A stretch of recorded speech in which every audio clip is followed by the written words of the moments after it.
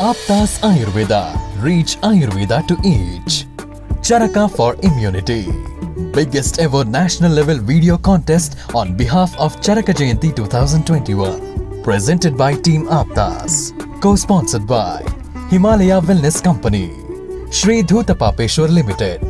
YSS College of Pharmacy, Nursing and Paramedicals. पढ़ने के लिए बहुत सी चीज़ें ज़रूरी हैं परंतु मेरा विचार उन मतों पर ध्यान देना है जिनसे ओज घटता है। ओज के नज़रिए से देखें या स्वस्थ वृत्त के वृत्त से। आहार, निद्रा और ब्रह्मचर्य, इन तीनों जगहों पर हमें विचार करने की आवश्यकता है। व्यायाम, यदि सही ऋतु में सही मात्रा में हो तो इससे आपका ओज बढ़ेगा। अन्यथा वही ओज घटेगा। अत्यधिक व्यायाम से भी शरीर को हानि होती है। जब तक आप खुद को और अपने चिंताओं को नियंत्रित नहीं करेंगे। तब तक दवाइयाँ, औषधियाँ, कल्पनाएँ या जो भी ले लो, सब बेअसर होंगी।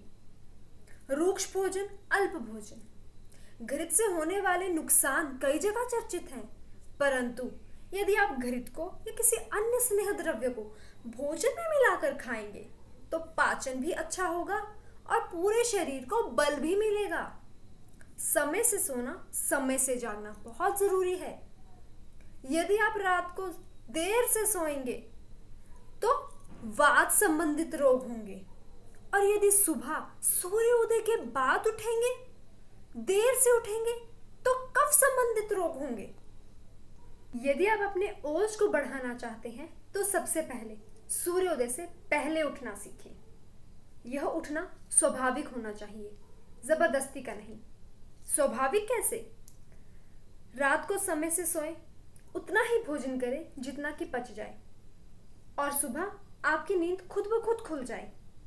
दूसरा, मालिश करें, स्नान करने से पहले। सर्दियों में सरसों के तेल से, गर्मियों में नारियल के तेल से और अन्य ऋतुओं में तिल के तेल से। विशेषकर सिर में, कानों में और पैरों में मालिश करें। तीसरा उष्ण भोजन खाएँ।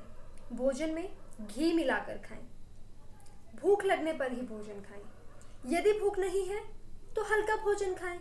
यदि आप बीमार हैं तो खिचड़ी, दलिया, अन्य पथ्य कल्पनाओं का सेवन करें।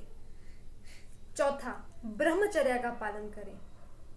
खुद को बेहतरीन बनाने के लिए नई चीज़ें सीखें, नए मित्र बनाएँ। दान करें, सदा प्रसन्न रहें। मन में करुणा और मित्रता की भावना रखें। दुष्कर्मियों और दुष्कर्मों से दूर रहें। इंद्रियों को सदा वश में रखें और नियंत्रित करके रखें। कहने को तो बहुत कुछ है, परंतु समय की सीमा है, इसमें इतना ही कह पाऊँगी। धन्यवाद। Subscribe and share this video to all and join hands with us to reach Ayurveda to each.